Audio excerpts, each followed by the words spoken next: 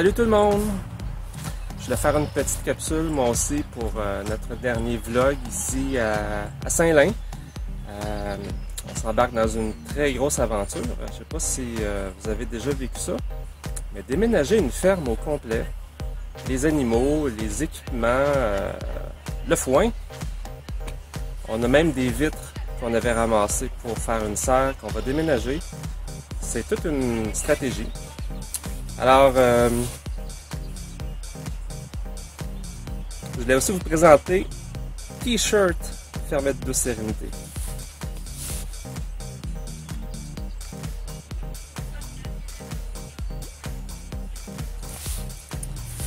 Première version d'une série qu'on veut faire euh, un peu humoristique. Fait que euh, si vous aimeriez ça, avoir un t-shirt Fermette de Sérénité, juste écrire un commentaire en bas. Euh, on attend de voir un peu euh, comment ça va se passer. Euh, on a fait une, douzaine environ pour l'instant. Mais si on a beaucoup de demandes, on va en faire plus. Alors, on essaie de trouver un fournisseur local pour faire les t-shirts. donc, si vous en connaissez dans le coin de... Ben, au Québec, en fait, n'importe où au Québec, faites-nous signe. donc, on, va encourager local. Hein. Je pense qu'on est dans le dans une situation qui nous incite à faire ça. Et de mon côté, euh, j'ai pas été beaucoup dans les vidéos dernièrement. En fait, euh, ma chérie euh, Bianca fait très bien ça.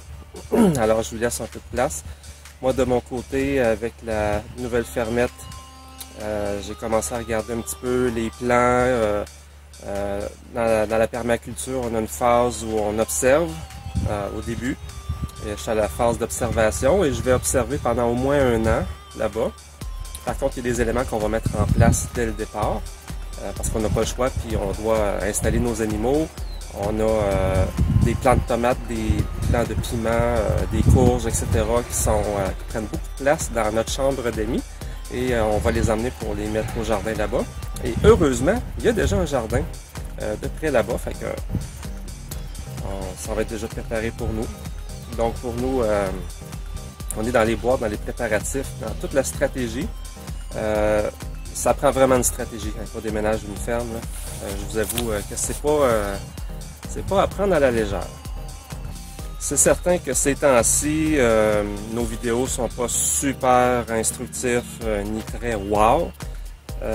comme vous savez, on est en déménagement, donc c'est beaucoup de préparatifs.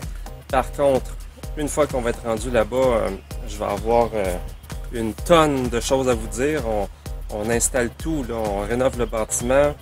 Euh, on va pouvoir vous donner des trucs. Comment aménager un bâtiment? Euh, ici, on a eu euh, une, certaine expérience qui nous permet de savoir qu'est-ce qui est bien pour nos animaux, qu'est-ce, qu'est-ce qui est efficace, qu'est-ce qui est productif.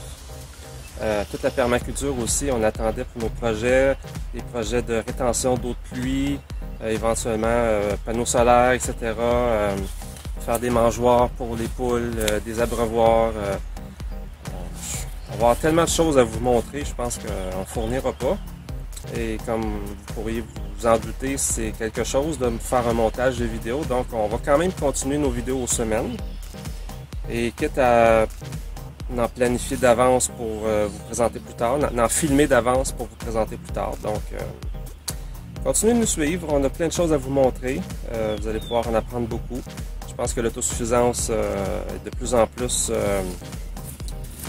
populaire ces temps-ci avec la, situation. Et euh, ça nous aide à réduire. En fait, on vise pas 100% d'autosuffisance. On vise plutôt à réduire notre dépendance à, l'industrie euh, qui euh, souvent n'est pas très respectueuse de l'environnement. Donc, et aussi on veut s'assurer de la qualité de ce qu'on mange. Donc, c'est très important pour nous.